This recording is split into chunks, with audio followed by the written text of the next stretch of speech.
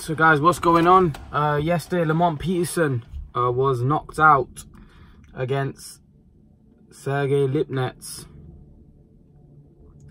Lipnets um,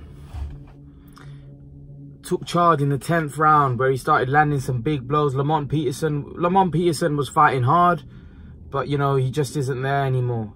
Um, he just isn't there and, and, and Lipnets kind of uh, ran away with it. Uh, guys, I'm going to do a part one video about just a little bit about the fight. Then obviously Lamont Peterson retired, so I'm going to do uh, a video on that as well. But, you know, it was a good, it was, you know, Lamont Peterson tried his best in the fight. Unfortunately, I just don't think Lamont Peterson is a fighter he was. Uh, you know, he was, he was really, in the end, that was a brutal knockout by Lipnets.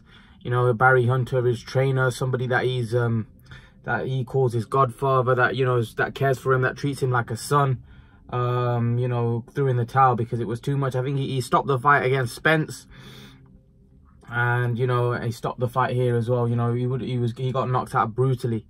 Uh, I don't think he would have got back up. Even when he got back up, Hunter uh, grabbed him and and and and you know had to hold him because he was wobbly. He was on wobbly legs.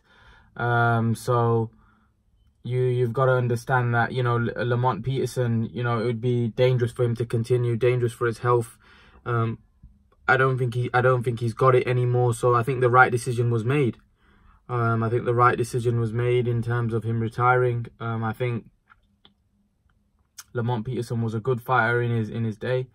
Uh, but yeah I think Lipnets was just too strong for him in the end and I, I don't think Lamont Peterson had uh, you know what it what you need at this level. So Lipnets really ran away with it in the tenth round and knocked Lamont Peterson out.